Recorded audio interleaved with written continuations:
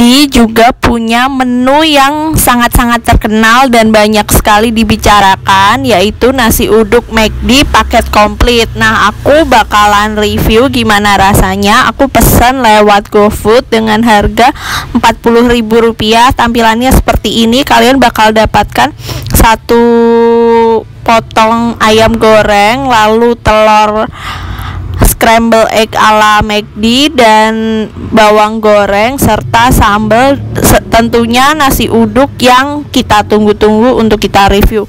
Untuk aroma sambalnya emang bener-bener kayak sambal nasi uduk.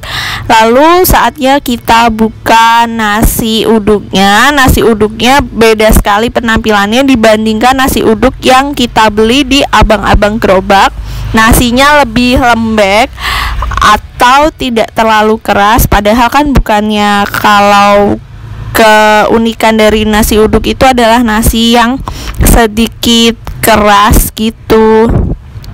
Terus untuk rasanya kurang terlalu gurih dan menurutku nasi uduk ini terbilang mahal karena kalau misal kita beli nasi uduk di abang-abang gerobak atau ibu-ibu gerobak paling mahal 15.000 bahkan nasi uduk rawa belong yang terkenal enak aja kita udah dapat berbagai lauk misalnya sate, tahu tempe serta kayak potongan ayam itu udah bisa dapat sekitar 20.000 tuh udah kenyang udah sama es. Sementara ini cuma 40.000 tanpa menu pendamping yang unik dalam nasi uduk. Nah sekian review dari aku